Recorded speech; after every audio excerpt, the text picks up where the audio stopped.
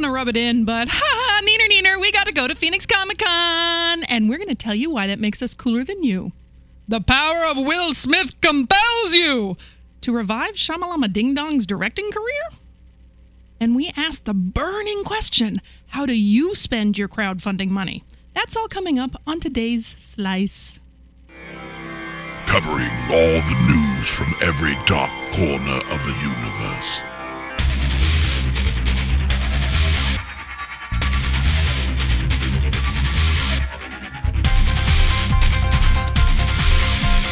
sliceofsci-fi.com.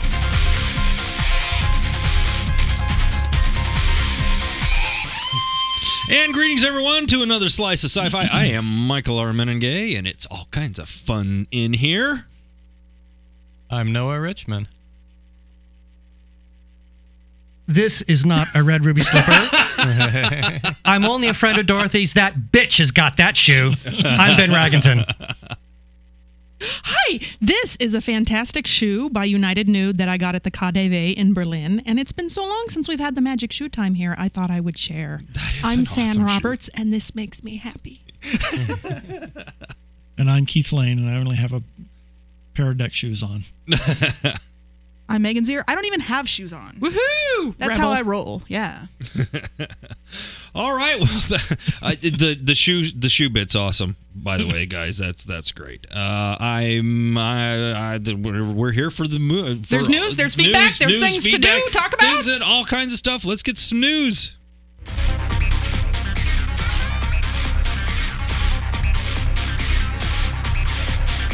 Your news team is next. Yeah. Phoenix Comic Con. In case Yes. you live under a nerd rock, you may not know. Phoenix Comic Con happened I this love last my nerd weekend. rock. No. And it was awesome.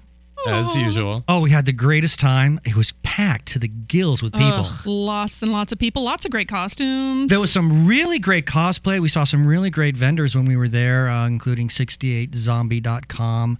We, I thought they were terrific. And uh, there, was, there was a beautiful Lego display yeah. that we great. saw. It was great. That was it was uh it was all very Star Warsy. And they had this little Mos Eisley cantina set up in the corner of the hall, which was really Which- terrific. Which I could not get my niece to pose with Greedo. No. I don't know why she wouldn't do Really? it. Oh, so mad. Because her. Greedo shot first. Ex- That- that's a good reason. They had a setup where they had a little those Nerf guns that shoot the Nerf darts, and they were letting kids shoot at a couple of stormtroopers. Yeah. Nice. Yep. that was fun. Yeah, did you and- see? Did you see Darth Elvis? Yeah. Oh yeah, Darth Elvis. I, I have a photo of him. I got Darth a photo Elvis. of him. Darth Elvis. Yeah, he had the the, the, the very sequency white outfit with That's the, the black helmet. Yeah, it was terrific. And uh, I even had a I had a strange little encounter with an old enemy of the doctor's. Ooh. Yeah. Yeah. Here we go. Lead Hi, into this is that. Ben Raggington. I'm here at Phoenix Comic Con. I'm with Science of Sci-Fi, of course, and a TARDIS. Could this be any cooler? Of course, being the Doctor Who nerd that I am, I love TARDIS. I had to come and see this, and there's something coming. Okay. A Dalek. I wasn't expecting this. Um, okay, and which Dalek? I mean, are you like a, a cult of Skaro Dalek? Uh, are you the Emperor? Not Emperor Dalek, but you you're pretty gold, so I'd imagine you're a pretty important Dalek.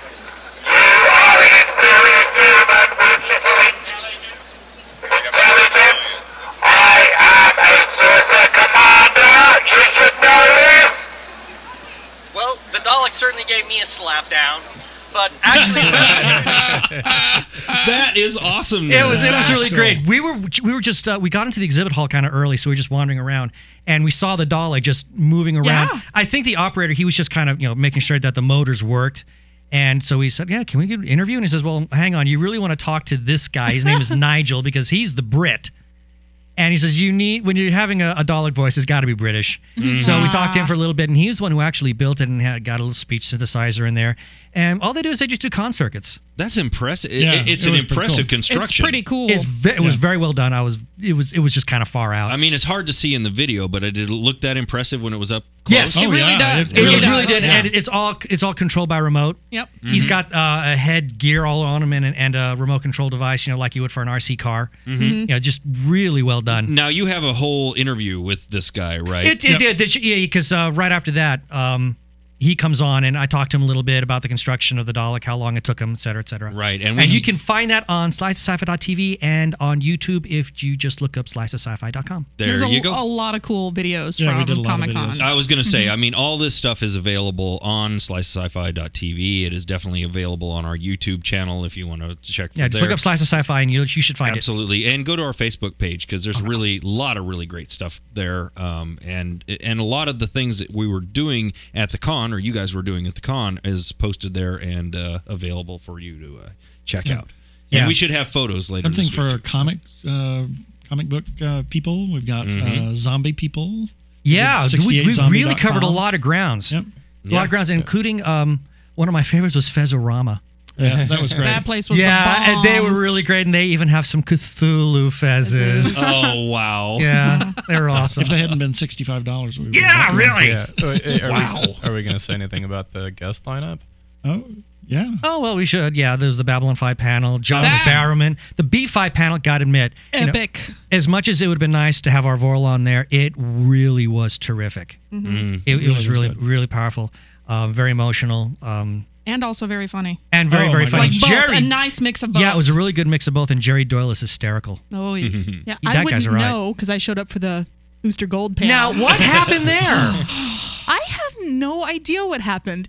What happened is a bunch of booster boosters showed up, and we're sitting there. we're Booster like, boosters? That's what I'm going to call them because Ah! they're booster boosters. That's brilliant. and so people just the panel was called "In Defense of Booster Right, Gold." and they had another one that was in defen- defense of Hawkeye. I didn't go to that one though. yeah. But yeah, then nobody showed up to defend Booster. But, That's So- sad. but no, so how many people were in the room? Um, it had a big room, but it was probably much bigger than it needed to be. But still, there were quite a few of us there. I mean, fifteen maybe, fifteen or uh, fifteen or twenty, which is kind of a lot of people. It's not bad. It's Yeah. actually a lot bigger turnout than I expected. Yeah, there was a so whole you had group your own next to panel. I had no. We should have. You I- should have jumped up there know. and actually Yeah. took, I took know. it You over. you should have Maybe that's what it hijacked was it. supposed to be. That's the way to do it. I know. When If I was a little more assertive, I could have gone up there and been like, "All right, let's defend him now." Absolutely, you had a perfect opportunity. Yeah, right you would have had the floor. You, you you could have really pleaded your case at that point. Or I could have played devil's advocate and been like, "Booster Gold sucks. Defend him." That would have been good. That's awesome. Yeah, so, and, and so did you wander off to another panel, or did you just? Uh, you know, I was just so disappointed that I'm like the. Bo- I think the Babylon Five one by the time I gave up on Booster had already started, so I didn't want to sit in one of the overflow rooms. So I'm just like, somebody will tell me about it later. I just walked oh, around. the, the well, it's on. YouTube. Both uh, Yeah. Right, split into exactly. two parts. Yeah. It's really worth seeing. The John Barrowman panel on Sunday was Oh my Oh. god! hilariously funny. very he- over the top. Oh, very, Oh, very, very naughty. Very Yeah. naughty. Very naughty. He did this whole reenactment of kissing um, uh, James Marsters uh, from um, uh, uh, an episode of Torchwood, and uh, it. I, I couldn't even begin to reenact it, but it, it was a riot. I mean, I, I began to do the wheezing laugh. Yeah. awesome. I was- did. I met my people. I I had my picture taken with a, a sand sand person from Star Wars. Really? Yes. It was like coming home. Awesome. They, they speak your language. Yeah. Right on. well, the, the other thing I'll say about uh, Phoenix Comic Con, uh, the um, they have an entire floor of the Hyatt, and it's just an entire floor of tabletop gaming. Right. I, I spent pretty much Friday and Saturday hitting the bars and tabletop Gaming? gaming, for Awesome. like Wow. almost yeah. Wow. That's cool. That's very cool. Nice. All right. All right. Well, if you missed it, you missed it. But You you, know it. what? You can catch up. Uh, check uh, check us out on our, our our pages and and follow us on Facebook and so forth, and you'll be able to experience it after the con. There No kidding. go. Kidding. Well, this weekend sees the release of After Earth. This is a movie we've all been kind of looking forward to. It looks really good, in spite of the fact that it's directed by M. Night Shyamalama Ding Dong. Right. And the teller is that they don't really mention his name in the commercials. No. Because I wonder everybody why. knows he's had so many stinkers. Exactly. Right. I mean, his name it it has a, a bad bad leaves a bad taste in people's mouths. Mm, Mine So- especially, yes. So everybody was really pushing the fact that this was a story that was actually written by Will Smith to really uh, give to his son Jaden. Mm-hmm. Well, uh, apparently it didn't do too well. Uh, the morning the Hollywood Reporter bashed After Earth with their bottom line. The disappointing sci fi survival tale does little with its substantial resources. The New York Daily News coughed up uh, Summer 2013 has its first bomb. Ooh. and it landed right on Will Smith. Ooh. and that man. really kind of hurts because I thought Will was going to turn in a very atypical performance, and that this movie was going to really be about Jaden. Mm-hmm. You know, I don't know. It still seems kind of really sad. I mean, good story, bad story. You know, You know, the the trailer looked really good. trailer did look good, I have to admit. In fact, we have that right now. Let, us Yeah, let's take a look. let's watch it. In the field, you are emotionally unpredictable. You confuse courage with recklessness. I'm not advancing you. You have a son that you do not know. He's reaching for you, and he does not need a commanding officer. He needs a father. Now go make some good memories together.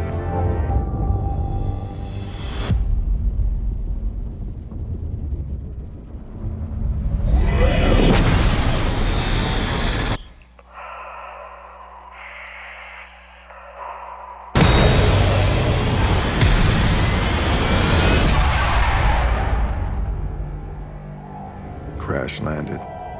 Two confirmed survivors. Do you know where we are? No, sir. This is Earth. There's an emergency beacon in the tail section of our ship, approximately 100 kilometers from here. We need to retrieve that beacon. Or we're going to die. Temperatures on this planet fluctuate dangerously. Everything has evolved to kill humans. Together, we will survive. I hear something. I'm tracking a life form moving toward you. 50 meters. 20. 10. It has found you.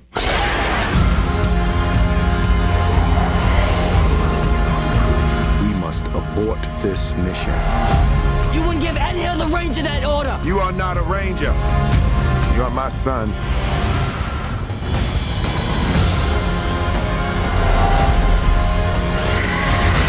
Remember, danger is very real. But fear is a choice. If we are going to survive this, we fight.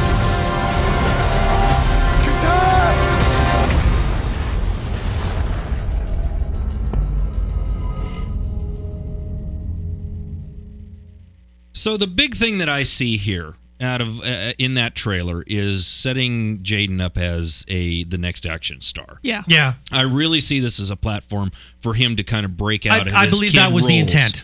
And and I think he may be successful in that, even if the movie does fail. He him. has the acting chops to do it, I d- and he can clearly yeah. handle physical roles. He's Right, been it handling. looks good, He's been handling physical roles since he was a kid. Well, the Karate Kid, right? Yeah. Um, but I, is Kung it, Fu Kid. y- Kung Fu Kid. Damn it. Whatever. So, is it just me, or were they talking in funny accents? Yes, they, they, were were. talking funny. Like, Yes, is they were that funny- funny uh, accents. it, it was distracting to me. That's my only problem with think that trailer. Otherwise, isn't it that looks the good. post-Earth accent. Right. Well, you know, what was that? Um, Cloud Atlas. They had that with um, Halle Berry and um, Tom Hanks in Cloud Atlas, Yeah. and it was more distracting than anything else. It's very difficult to develop a futuristic accent and not and have it be believable without having it pull you and go, eh, what? Right. It didn't necessarily bother me, but Yeah? I again I thought this movie looked really good. You know, but we've said this time and time again. Trailers, you really can't judge a movie by its trailer. Yeah, no, I, I- I like the flying suit. That was cool. Yeah. That does Squirrel look That's fun. nice. The Squirrel squirrel suit. suit. Yeah. yeah, no, I have to admit that was a pretty good looking trailer because Mm-hmm. I just heard it was M Night Shyamalan and I just turned down any offers to go see it for free. so- Right. right. Well, there it is. Well, there you go, folks. What do you think? You know the numbers 206 339 Trek. That's 206 339 8735. Send us in. Send us your comments. Let us know what you think of it, uh, what you thought of it, and uh, um, what you think maybe they could have done better or, or what they did well. Mm-hmm. You, and use our nifty slice of sci-fi app. Absolutely. That's what we did all of the interviews at Phoenix Comic Con on. Except for Megan, who Except doesn't have Megan. an iPhone, That- so I really have messed a whole bunch of stuff up. No, you didn't. No, you So didn't. sad. It was They fine. were, you so- did great, Art. Well, let's take a quick break and we'll come back with more right after this. Why do you think your mommy or daddy are always telling you, don't put that in your mouth? Let's find out. Don't you put it in your mouth. Don't you put it in your mouth. Don't you stuff it in your face. Don't stuff it in your face. Though it might look good to eat. Though it might look good to eat. And it might look good to taste. And it might look good to taste. You could get sick. Ick.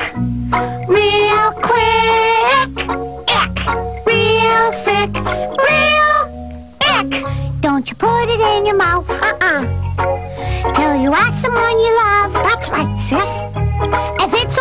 Eat. If it's okay to eat. Like a muffin or a beet. Like a muffin or a beach. If you don't know just what it is, remember, boys and girls, don't put it in your mouth. Always ask someone you love before you put anything in your mouth. A message from Concerned Children's Advertisers. Sam, you want to see Isaac Asimov's old house at 50th and Spruce in Philadelphia, so you tell me to send you pictures? Really? Send you pictures? I mean, come on. You wanted to see Germany, right? Did, did someone send you pictures of Germany? No, you went out there. I have a hide a bed. Get out to Philly. That goes for all you guys. You got an open invite. Not all the listeners of the voicemail show because my apartment isn't that big, but all you guys in the studio and uh, who am I kidding? Most of the people who listen to the voicemail show too. Just email me. We'll make something work. Talk to you later. and that's why he. That's, why he's crazy, Joe. Was, was he driving while he filmed that? Should I be concerned? Yes, he is driving while he's filming. Uh, I can't come visit you if you're in the hospital. We're gonna have to make him film a PSA, for Yeah, right? I gonna Slicing s- while Hey, driving. That's why he's called Crazy Joe. with a K. with a K. With a K. Yeah, using the iPhone app while you're driving is definitely not recommended by Slice of Sci-Fi does not endorse it. No, We're not liable for that No. stuff. Exactly. That's your own crazy with a K shenanigans. Oh my gosh! Um, you know, we had a lot of uh, a, vo- a lot of comments that came in this week. Yeah? And speaking of Will Smith, since we're kind of on the Will Smith subject, this one I found interesting. Okay.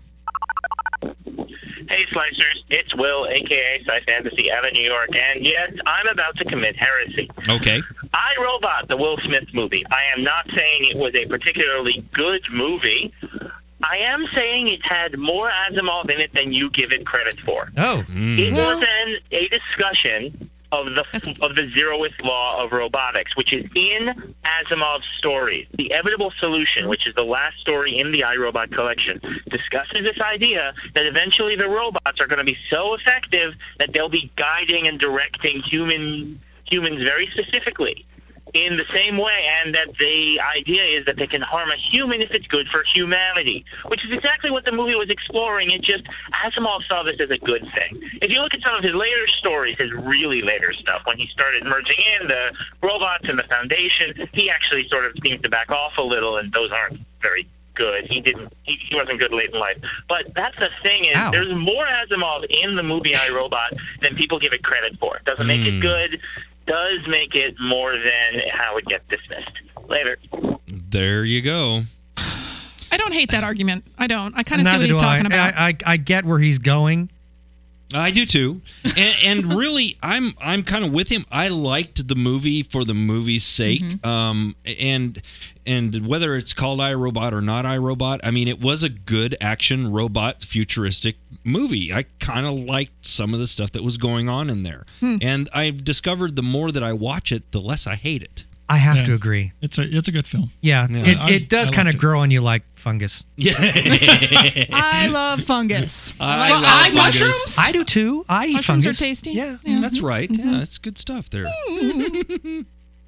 So over the years, we've seen a lot of cool Lego creations, right? Star Wars Mhm. comes to mind as one of the genre favorites. It has characters, weapons, ships, bases, blah blah blah. Everything Star Wars is Lego. So last week, the Lego Wizards outdid themselves with the debut of this is so awesome full scale model of an X-wing uh, fighter is from Star this Wars. Rock insane? and roll. That thing, if you're looking at the video, is full scale. Full scale model Can they fit a person of in it? Lego. I can't even fathom that. Right? I wonder if, the, if is, is there a person in there? I can't see. God, I hope so. They should totally put a person in There there. or should they be. should have a person-sized Lego person. Yeah. Yeah. Well, wait. Whoa. That'd be great. so so the details right is five million three hundred thirty five thousand two hundred blocks. wow. Okay. The weight is 45,979.61 pounds. Damn. That's including bricks and a steel wingspan of 44 feet. Okay, did you Wow. 5 million Lego blocks? 44 foot wingspan. Yeah, but does it split open like an X? That's what I. Yeah, It, That- should. because It better. It's, it's based on the actual Lego.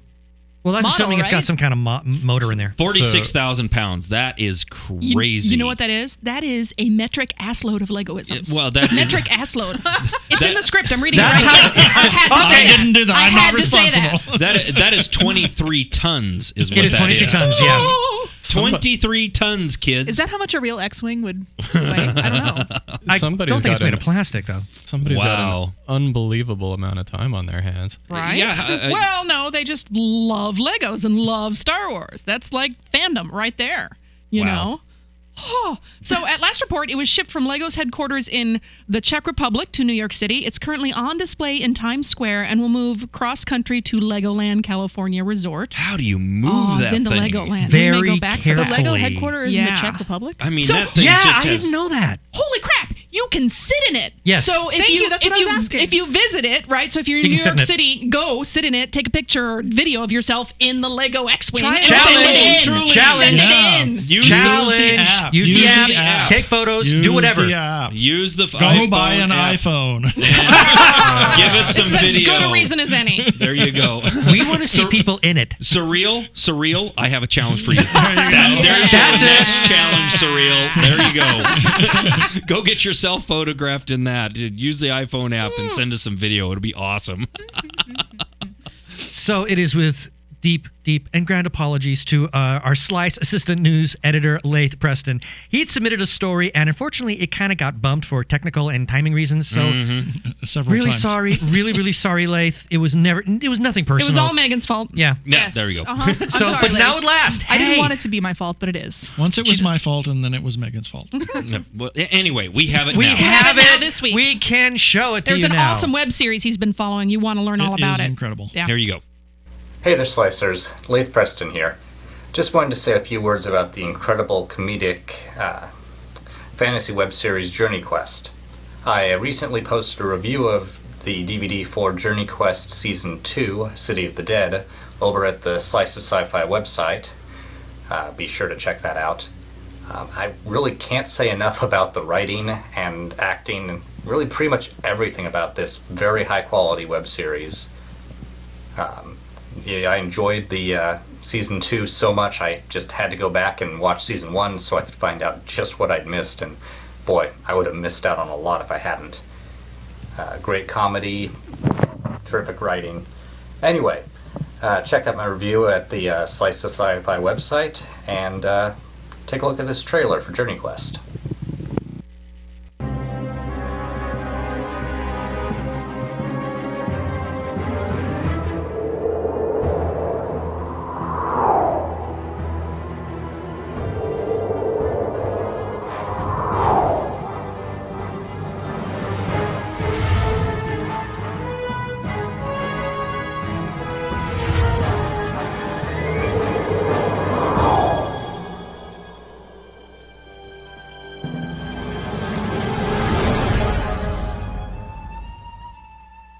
Do not interfere.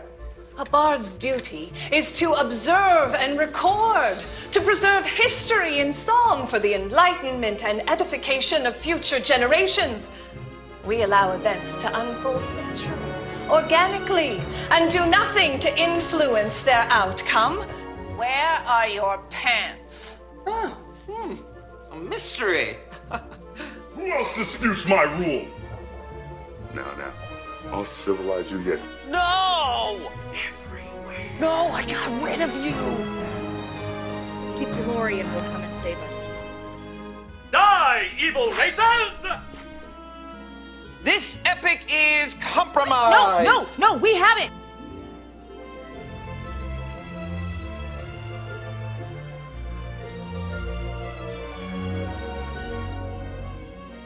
Let's all eat a cow! Saw this, they're not paying me enough. Boy, I said! Ah, Nora! My family isn't exactly the forgive and forget type. What do you want from me? No. It's what you want from me. We have much to discuss.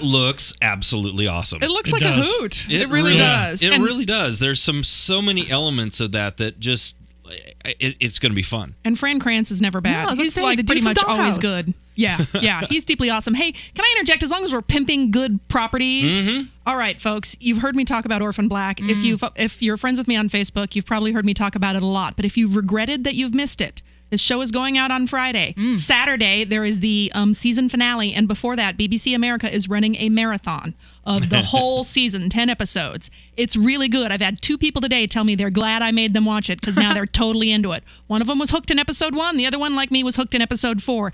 Give it a chance. Minimum four episodes. If you don't love it, then you can call up and yell at me or email girlsam at sliceofsci-fi.com and tell me I suck. But you would be wrong because it's so awesome. Well, there it is. Set the DVR. I'm going to. Absolutely. Uh, There's there's a lot of really good stuff that's coming out uh, this this in the next few months, and Mhm. uh, we definitely have got to have a conversation about that I think- really soon. I think we're going to do something soon, kind of previewing what's what's coming on our TV because tons of genre goodness is coming our way. yeah, absolutely. Hey, Slicer, she's from New Jersey. 20, hou- 20 days, 3 hours, 26 minutes. Yeah, Um, less than that that is now. I thought was pretty cool. Uh, a friend of mine, now this is secondhand information. I didn't check this on my check for this myself. A friend of mine sent me a message, uh, a text message on Tuesday, saying that the whole Paizo website was down because the whole company had gone to see Star Trek. and they would reopen later after the movie was over. I just thought that that was great and fantastic and sounds totally something that Pathfinder Paizo would do. So Yes. uh, just thought that you'd find that uh, interesting. Take care, Slicer. Awesome. Love those guys. Absolutely. This message is from Morrow of Texas to Arkle. Uh, sorry that you're losing yours. I assume it's a cell phone, but since you do have a computer, here's an alternative. It's a, just a suggestion. Try Google dot voice. That's Google Voice, How yeah. I'm able Yeah. to call the slice of sci-fi voicemail number thing. I'm doing it right now. And frankly, you can. It's free. You can use it anywhere in the continental United States and America, provided you've got a connection to the internet. Look it up. Go to google.com slash voice, and you get a local number, or as close to you as possible. And there you go. Hopefully that'll work for you. Slice on, guys. And cheer up, Arkle. And isn't it awesome that Arkle has his own fan base that is Yeah. trying Yeah. to get him to call in more often?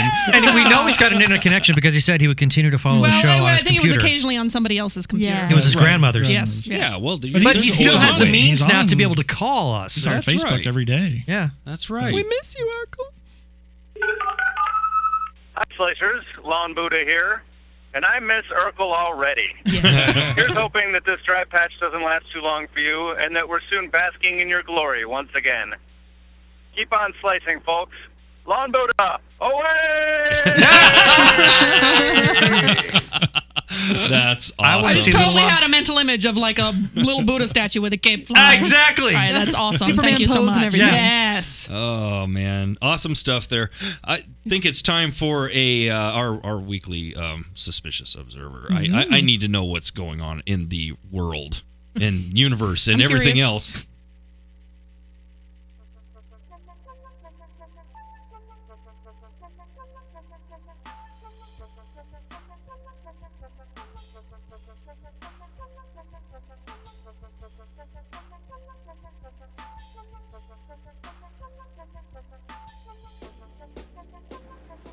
Good morning, folks. You have been watching a tornado in Milan.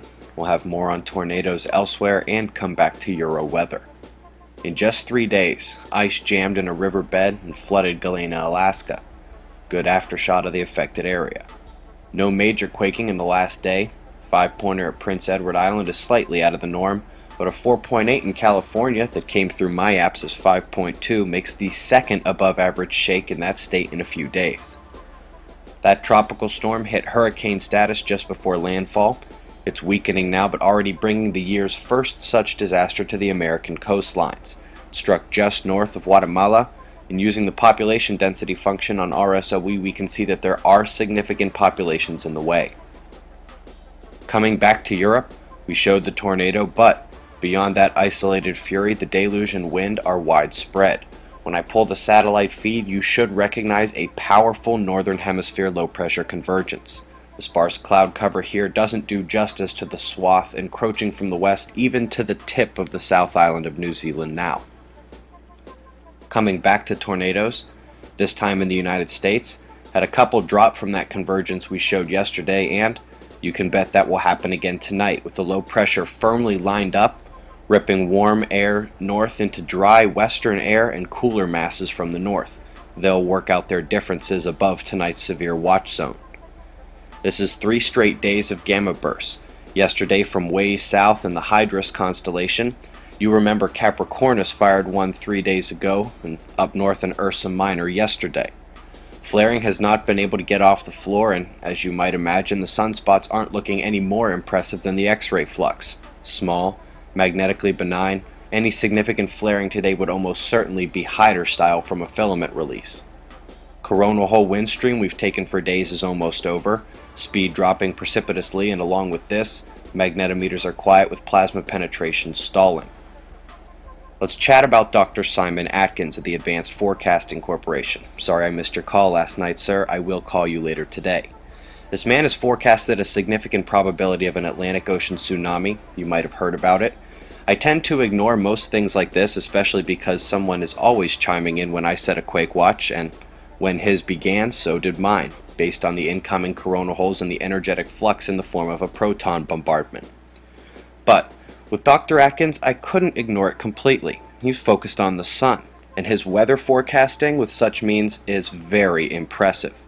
I contacted him in an attempt to help, now, I commented to you, many of you, that he might have eyes on the wrong ocean when around the time I called the Kamchatka area unstable, the Earth was screaming out a warning. Now, luckily, it was one of the deepest eight pointers in the history of record. Kamchatka isn't exactly New York City in terms of population density, but could we have combined to better forecast that quake? Or what about the next one, potentially in a populated area? Dr. Atkins' watch remains in effect for six more days, and the umbral field is opening again now. We have days of coronal hole geoeffectiveness ahead of us, and we have a secondary factor, energetic flux in the form of an electron storm. These usually begin to decline before the quakes begin. We also have a sign from the Earth, and it's about the North Atlantic. Yesterday's reported quake in the Irish Sea was so very underappreciated in the comments section. Earth has seen four 8 magnitude quakes since their last four pointer, so how rare was it? Now, am I going to jump on board with the 81% likelihood of an Atlantic tsunami or large quake? No. But I promised someone that if my factors matched a sign underground that the North Atlantic was about to rumble, I'd say so. Promise kept. Helioviewer not updating, so you are on your own for close ups. Eyes open, no fear, it's 6:55 a.m. Eastern Time and that's the news. Be safe everyone. This is the most fascinating thing that we've got going on the show right Absolutely. now. Absolutely. the is more that we do this every single week, the more I understand what he's talking about. It makes more sense and it is just incredible. It's cool the more that I more that I want to study what he's talking about and have a and then get a better understanding of the entire science that he's drawing upon. I just want to listen to his voice. And I like it. admit I'm a I lurker find it to on be his soothing. page. Yeah, Yeah. I tell you what, I, I I have actually gone out and and watched a lot more of this stuff because we're running this more on the show. It's just amazing. That's cool. So anyway, one All right. last story and we'll wrap it up for tonight. So Kickstarter, Indiegogo, Indie Starter, Kick a Go Go, whatever. You know, there's tons of like the crowdfunding. Sure. thing. Kick-a-go-go. I like and- that I'm one. not kicking a go go. Right? Doesn't that sound like fun? Sounds like a nightclub. Um, so I I've backed a few projects myself, right? These fundraisers have mostly been used for vanity properties like artwork, music, book, films, web series, etc. Well, we found one that is like solely in the interest of science, And, and, we think on the is- backs of uh, on the back Right? of Skywatch, it's perfect. right? Synchronicity. It's called ARKYD Space Telescope. Mhm. Instead of dishing out your hard earned dollars for an ego project that only helps an artist, director, or writer make their personal dreams come true, why not put your monies toward a science project that makes the heavens above available to the public? Yes, Planetary Resources, a private venture aiming to mine near Earth space rocks for water, minerals, and other resources, announced on May 29th that it would build and launch a space telescope for public use if it could raise at least $1 million Mhm. in 33 days. Good grief. Yeah. Well, I tell you what, this is cool stuff, and we'll talk about it after Mhm. the story. But keep so far, they raised more than $160,000 on the first day of its campaign. That's Hey, hey, hey. The telescope hey, hey. will be a twin copy of the ARKYD spacecraft the company is developing to detect, track, and study asteroids in preparation for its mining mission. A test version of the spacecraft is set up for its maiden trial flight in April 2014, while the crowd-funded model would launch in early 2015. Wow. Yeah. So, next time you take money from your wallet and put it in somebody else's wallet, why not consider placing that same moolah into space exploration for public consumption that will help mankind and the minds of generations to come? I mean, I know we all want Firefly back, but this is pretty cool. I right? agree. the coolest thing about this story, and the one thing that I absolutely love, is that this is not for just them mining asteroids. It Mhm. is. Uh, it goes to the public. Yeah. You, we have the ability to use it. It's going to be open to schools, universities. It's going to be u- Mm-hmm. open for teaching. It's going to be open for whoever wants to use it. Which, if I- Unlike the NASA Right. satellite, the, Right. the Na- NASA Mhm. telescope, that you have to know somebody and have millions and get funding and permission. And this is a public which thing. is super exciting. Like just coming from somebody who works in a public school. I've been in science classes where they're teaching about the Hubble, and how cool would it be for those kids to be able to, I don't know, log onto the internet? I don't know what they're planning, but Well, to actually be able to use a telescope could that's actually already in use it. space. So it's like, okay, kids, where do you want? What do you want to look at in space? Exactly. And they f- they as a class figure out a point in space that they want to look at. They use the telescope, get that shot, bring it back into the classroom. How cool is this for education Mm-hmm. and getting kids excited about science again? And this is taking science just one step further. It's not about just reading something in some old textbook. Now they are actively involved in the scientific Hands research. on. They're doing it. Yeah. Absolutely. Absolutely. Although I'm- awesome stuff. I'm Super curious about what happens when a whole bunch of people want to use it at the same time. Well, I'm sure it's going to get very Rochambeau. busy. Big, big Rochambeau tournament. Just on Skype. For scissors. you know it's, it actually opens the paper, question scissors, you know what's if it gets really really popular is there a second telescope maybe Ooh. or maybe a different type of telescope one that is focused primarily just at the sun Hmm. or one that's focused Mhm. primarily just at mars and is just used for st- mars research this opens up so much for private space and private space is huge right now Yep. and there's so much exciting exciting things happening coming from And the also, new gossip news I read today Elon Musk is dating Cameron Diaz. and Wait, what? hey Segued right into that space news, you know. I tell you what, uh, Elon is my personal hero. There you I go. love that man. and on that point, and on that, I think we'll call this a show. Thanks everyone for tuning in. You know where to find us. We're on the Facebooks, we're on the Twitters, we're uh, slicesci-fi.com, slicesci-fi.tv. If you want to know more about this or you have comments about it, definitely use our Facebook, uh, our, our iPhone app, and send us in comments, or use the voicemail line and send us your thoughts on all the stories that you heard tonight. Thanks, everyone. We'll be back with more in just a couple days.